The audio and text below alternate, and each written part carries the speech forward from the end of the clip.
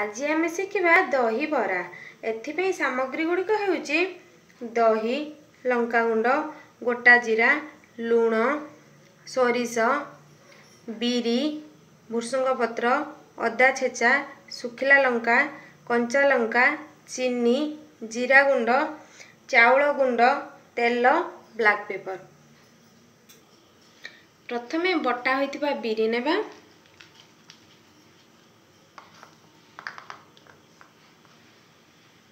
ଏଥିରେ ଅଳ୍ପ ଚାଉଳ ଗୁଣ୍ଡ ଦେବା।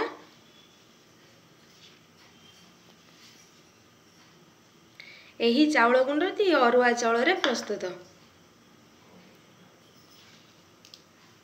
ଭୃସଙ୍ଗ ପତ୍ର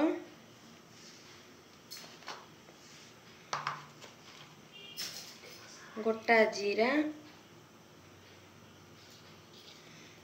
ଅଦା ଛେଚା। ସ୍ୱାଦ ଅନୁସାରେ ଲୁଣ ଦେଇ ଏହାକୁ ଭଲ ଭାବରେ ଗୋଳାଇ ନେବା।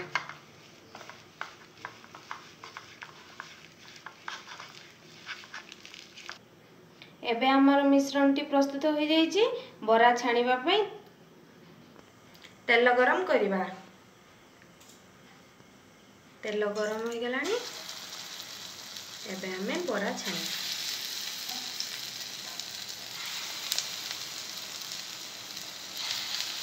ଏହାକୁ ଲାଲ ହେଲା ପର୍ଯ୍ୟନ୍ତ ଛାଣିବା।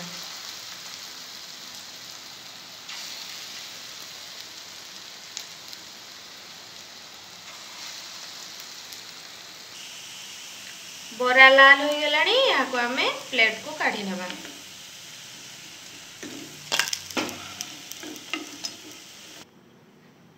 ଛଣା ହୋଇଥିବା ବରାରେ ଅଳ୍ପ ଲୁଣ ଦେବା।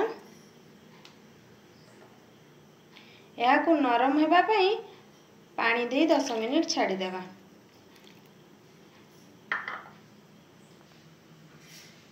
ଏବେ ଆମେ ଦହିର ଘୋଳ ପ୍ରସ୍ତୁତି କରିବା। ପ୍ରଥମେ ସ୍ୱାଦ ଅନୁସାରେ ଲୁଣ ସ୍ୱାଦ ଅନୁସାରେ ଲଙ୍କାଗୁଣ୍ଡ ସ୍ୱାଦ ଅନୁସାରେ ଚିନି ଦେଇ ଏହାକୁ ଭଲ ଭାବେ ଗୋଳାଇ ନେବା।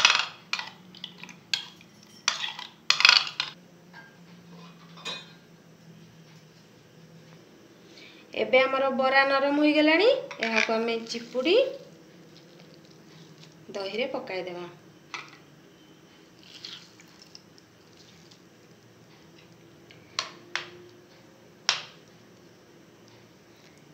ଏବେ ଏହାକୁ କିଛି ସମୟ ପାଇଁ ଛାଡ଼ିଦେବା। ଦହିରେ ଛୁଙ୍କ ଦେବା ପାଇଁ ତେଲ ଗରମ କରିବା। ତେଲ ଗରମ ହୋଇଗଲେ ଶୁଖିଲା ଲଙ୍କା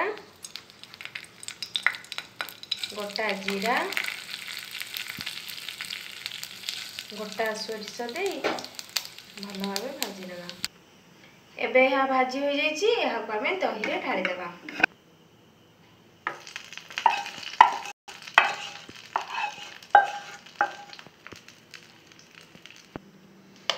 ଏବେ ଏହାକୁ ଭଲ ଭାବେ ଗୋଳେଇ ନେବା।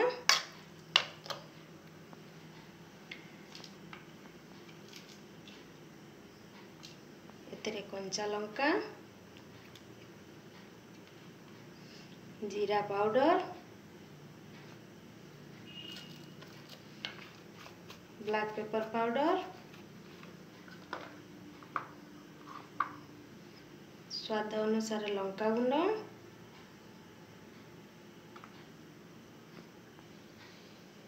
अल्प बीट लुण दे भल भाव गोल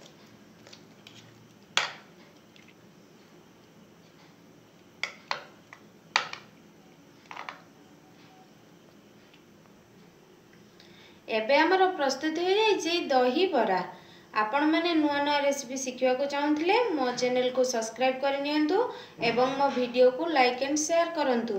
ପୁଣି ଦେଖା ହେବ ଏକ ଆଗାମୀ ଭିଡ଼ିଓରେ ନୂଆ ରେସିପି ସହିତ। Thank you